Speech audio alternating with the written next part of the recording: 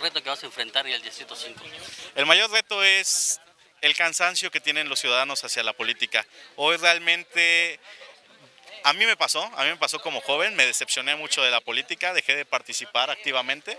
¿Por qué? Porque vemos que los resultados no se dan, que hay promesas y por eso nosotros en campaña estamos buscando más que prometer, comprometernos con temas que podemos brindarle a la familia cancunense. Hoy sabemos que los diputados no tapan baches, que no ponen luminarias, pero que sí asignan esos presupuestos y que se tiene que estar al pendiente de ver esa fiscalización de, presupuestos. Hoy vemos que hay dinero para seguridad pública, hoy vemos que hay dinero para programas sociales, pero no vemos realmente esa revisión de, cuentas, no vemos esa revisión real en las calles porque los resultados no están tan palpables.